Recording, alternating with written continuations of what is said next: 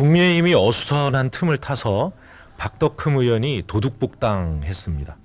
박덕흠 의원은 가족명의 회사를 이용해서 어, 피감기관으로부터 수천억 원대의 공사를 수주받았다는 의혹을 받고 국민적 어, 공분과 지탄을 샀던 인물입니다.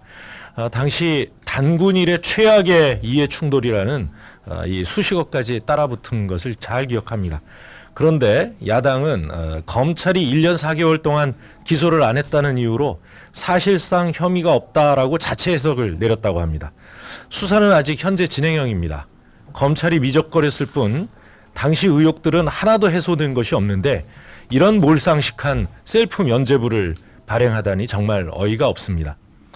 어, 윤석열 표 쇄신의 첫 작품이 비리 의원의 도둑입당, 도둑복당이라면 어, 정말 그 나머지도 어, 뻔하지 않나 싶습니다.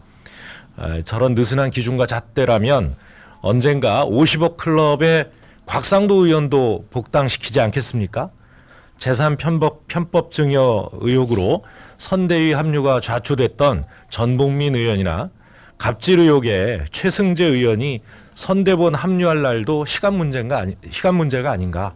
어, 김종인 위원장 몰아내더니 비리와 부패, 구태 정치인들의 머릿수만 늘리는 이 모습 어, 국민들이 정말 실망할 것입니다. 1년 4개월 동안 기소는커녕 제대로 된 당사자 어, 소환도 없었다는 검찰의 형, 행태도 참 경악스럽기 그지없습니다. 혹시 어, 박덕흠 의원이 그동안 키워온 스폰서 검사가 어, 이 뒤를 봐주고 있는 건 아닌지 의심이 가지 않을 수 없습니다. 검찰은 봐주기 선택적 수사가 아님을 어, 이 엄정한 수사를 통해서 입증해 나가야 할 것입니다.